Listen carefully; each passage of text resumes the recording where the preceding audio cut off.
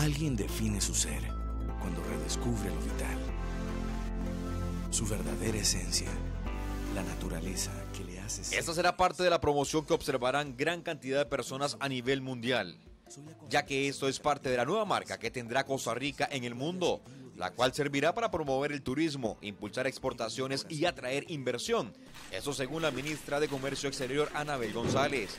Esta marca muestra una idea central de lo que tiene Costa Rica, diferenciándolo de sus competidores, y con esto permitirá atraer una inversión extranjera, pero de una forma directa. Hay una enorme sinergia entre promover inversión, promover turismo y promover exportaciones. Y les pongo algunos ejemplos.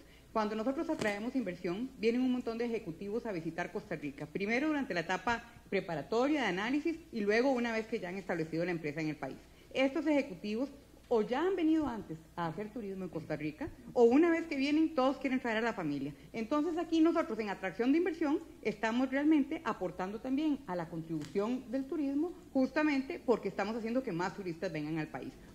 La nueva marca Esencial Costa Rica es producto de un trabajo que inició desde el año 2008 con estudios de percepción sobre Costa Rica a escala nacional e internacional, destacaron que nuestro país se caracteriza por ser articulador de valores, por ser auténticos y también concentrados, además de esto orgullosos. Y será eso lo que verán en diferentes partes del mundo. Así es como se va a ver en el World Travel Market de Londres, así es como se, se irá a ver en la Top Resa de París, así es como se va a ver en la Fitur de Madrid o en la ITV de Berlín.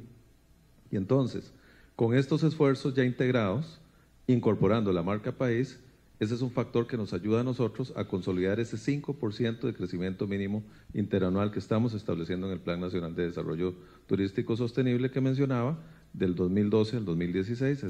La marca País será utilizada por Procomer, el COMEX, el Instituto Costarricense de Turismo y también CINDE, esto en diferentes actividades que realicen a nivel internacional. Soy solidaridad, soy paz, soy talento, soy innovación, soy calidad, soy diversidad, soy concentración, soy esencial Costa Rica.